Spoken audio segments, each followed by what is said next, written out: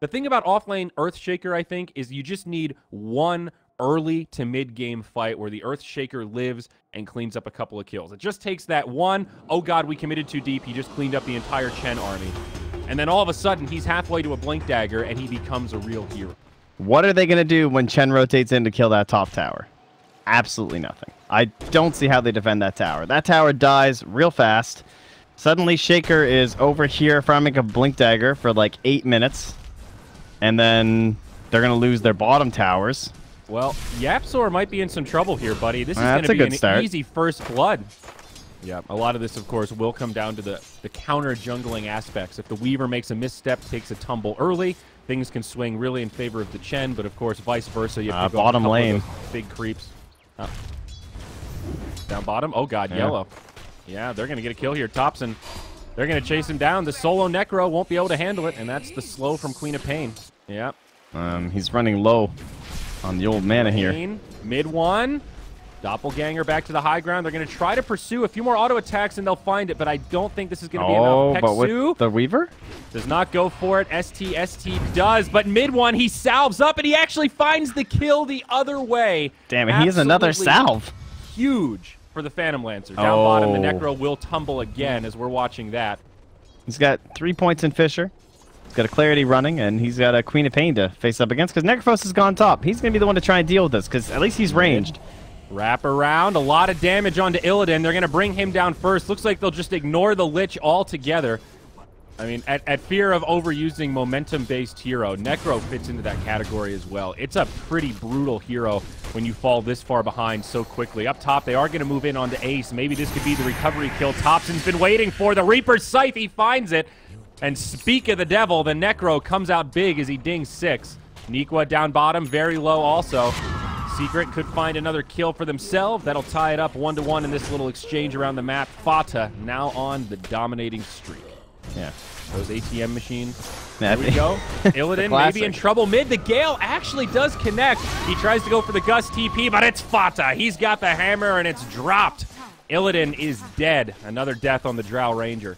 Wrapping around the tree, Puppey comes in. STST rotating over, but who's going to have the reinforcements? Now YapzOr's on his way. Chain Frost takes some bounces. It'll start moving around the creeps, but Puppey in big trouble. Pops the all heal. Now Fata's here. He's trying to line up the ult, but he doesn't Sonic have it. Wave It's still on three. cooldown.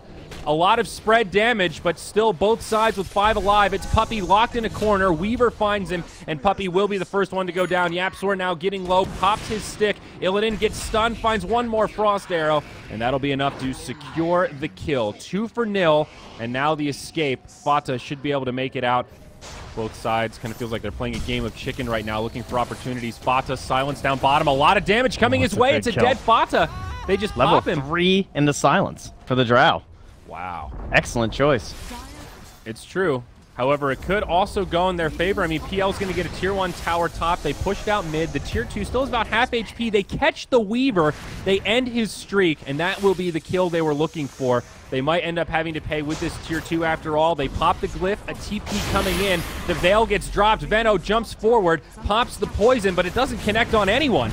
Oh no, that's not what he was hoping for. Now Veno's in deep. He's going to start taking a lot of damage, but it's fought. A Sonic Wave brings down the Aegis. Now Drow going to be coming back to life. Necro surviving a bit longer than planned, but mid one, he's in the fray. Nikwa drops the Echo Slam, doesn't connect on much, but Reaper's Scythe finishes off the Phantom Lancer. They trade their Lich. It's a pretty even fight, all things considered. Both teams with a lot of resources, but SFT are in deep and they may need to sound the retreat. Shrine gets used. STST is respawned and TP'd back in.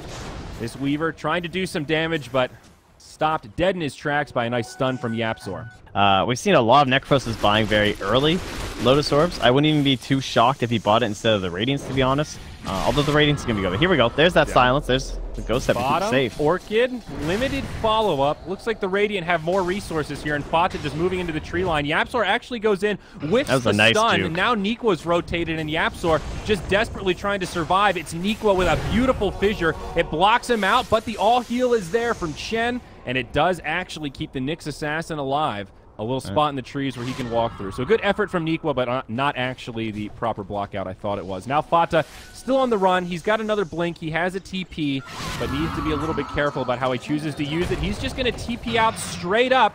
That's not going to work. He'll TP into the tree line, but of course there is a bug connected, and uh, they'll have the vision to finish him off. Fata and mid one where to go to not die. Oh, up top, Peksu in a lot of trouble. Fata uses the Sonic Wave. Oh no, 20 Oh, he needs to get denied. The Oh, dagger is there, and no deny will come, but Yapzor will trade his life. They make it a one for one, an even exchange, as now Fata blinks away. Push now out these waves. A pipe and a Crimson Guard up on Puppey. I like it, man. I, I like itemizing around these five-man type items. Here we go. BKB used by Fata goes in onto Nikwa, trying to TP home, and it will not work. They've actually got the damage. Now Fata blinks forward. It's Illidan that's getting low. A lot of damage. He's completely out of mana. Just has to stand his ground. Crimson Guard doing a ton of work. Big stuns as now Thompson is locked down. It's a disaster for the Radiant.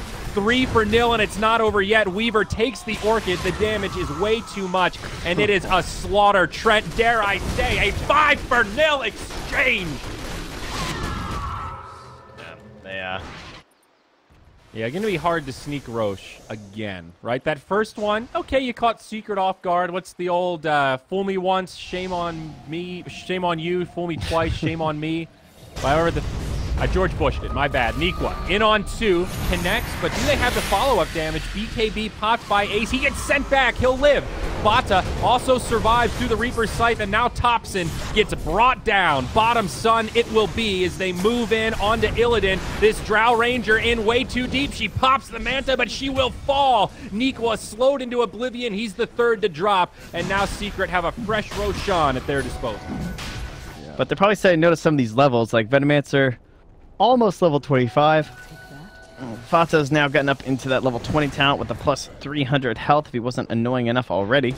Uh-oh. Little Illidan.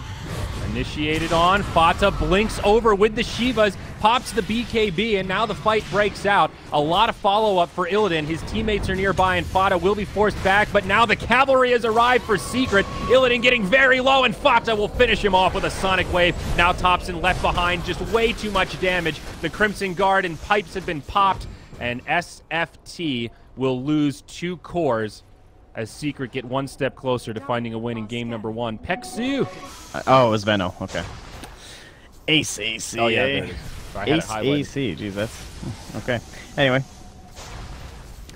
High Eto ground gay gay. Yep. It's uh, it's looking grim. Buyback status. There are two available for the Radiant, Necro and the Drow. Here we go. Lich initiated on Soulburn. Not even gonna proc. Dies in the blink of an eye as the tier three tower is turned to rubble. The Eye of Skadi will come out on the mid one, so he's even beefier, bigger, badder than before. Barracks will crumble. And uh, I think Secret might have this one, Trent. We might get one more fight left in us. The one final stand from SFT. We need one big dunk here from Nikwa. I mean, look at the spread, though. Secret aren't A giving it to dignity dunk. There's Look at that one dignity dunk. It hits one. Mid one in some trouble. That's the Aegis. Now the rest of the fight will continue. Fata doesn't have an ult, but they just obliterate Nikwa. Weaver, invisible nearby. Thompson doing what he can, but Fata, he's here. He's ready to party. And he's going to break the six pack open as SFT crumble towards their well. Buyback now from the Necro. Mid barracks slowly crumbling. You got to give it to them, Trent. They don't give up. They're in Yep. it till the bitter end, but here we go. Chain Frost bouncing around. Tops in. He'll drop first, and NNGG is called as they get completely wiped. Secret end the game with a nearly 40k net worth lead. An impressive game one as Secret dominate. Puppey's playing Chen. PL's buying Radiance. And Illidan's losing Dota 2. It's uh, 2015 all over again. But uh, that's the end of game number one. SFT have impressed me before. They beat OG quite handily. They looked really good doing it.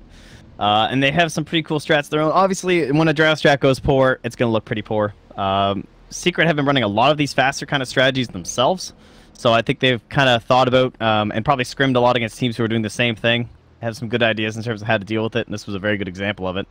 They just, uh, it's not even so much the heroes, but the way they played, right? We, we talked a lot about that whole creep kill mid, but that push was over. It was just done. And then once those bots came online, it was completely over. They never once gained control of a wave or a lane again. for the Radiant, and uh, a 40k lead at 40 minutes is not something you see too often.